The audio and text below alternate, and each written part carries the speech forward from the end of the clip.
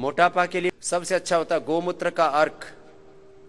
25 से 50 एम पानी में घोल के पिला देते हैं। सुबह सुबह। देसी गायों की गोमूत्र से हम तैयार करते हैं गोधन अर्क। ज़बरदस्त लाभ होता है मोटापा में। क्रॉनिक कॉन्स्टिपेशन में स्किन प्रॉब्लम्स में कैंसर तक में उससे अद्भुत लाभ होता है। हमने आपको कई बार दिखाया कि दो गिलासों में हमने प्लेन वाटर रखा, एक में हमने बीटाडिन डाला, ऊपर से एक चम्मच बीटाडिन डाल दिया, फिर दो चम्मच हमने गोमूत्र डाल दिया, उसको न्यूट्रलाइज कर दिया उसने। और चाहे विद इन टू मिनट्स ऐसी बॉडी हमारी क्लीन होती है पूरी। इसमें बहुत प्रकार के एसिड्स बहुत प्रकार के negative energy toxins oxidants deposit हो जाते हैं।